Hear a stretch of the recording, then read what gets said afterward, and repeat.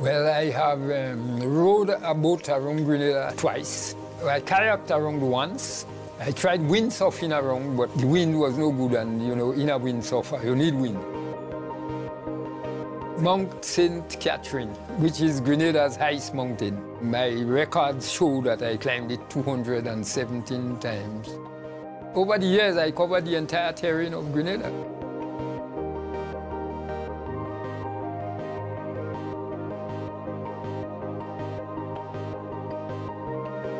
My name is Telfor Bedeau. I was born in Grenada on the 15th of October 1939.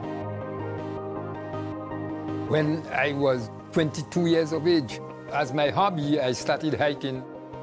People in my um, village, you know, they looked at it as something, well, only people with no sense will do things like that, just go and make themselves muddy and tired in the mountains. That didn't sound right.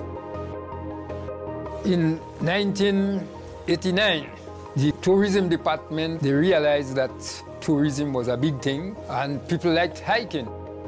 And somebody told them, well, this guy has been hiking all these years. And so right there, I got into hiking as a guide.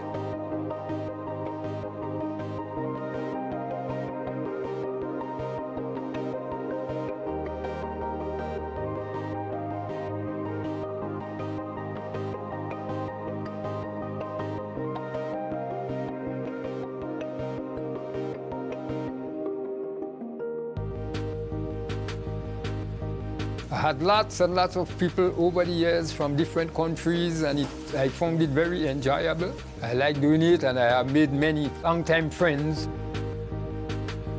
One of my um, hiking visitors, he mentioned me as the um, Indiana Jones of Grenada. I did not know who in Indiana Jones was.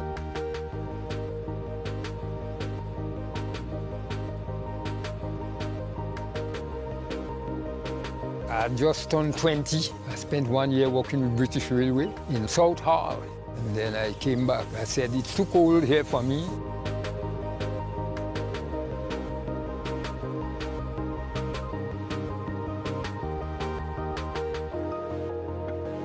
Over the years, I learned a lot about the island, the physical nature of the island, the structure with the lakes and rivers and mountains and so on. It's not a road map so, it's just a topographic map to show the lie of the land with the backbone. In school, I liked geography, and then I studied ocean navigation and land surveying. I worked for seven years with the government, surveying lands. Map making was part of the fun. Whenever I want a map, I can draw a map.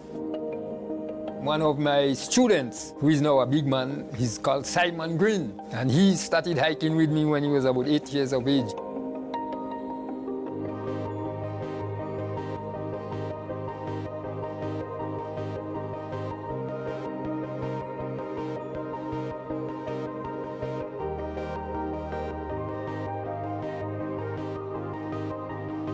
I knew at that time will come when I will not be able to do the big walks. But I have the memory of it. My diary, I sit down and read what I did 50 years ago and whatnot. gives me a good feeling. St. Catherine, number two of 1963. You know, a great lesson from this trip. I think it's a very interesting job, and when I look back, I think I have had an enjoyable time.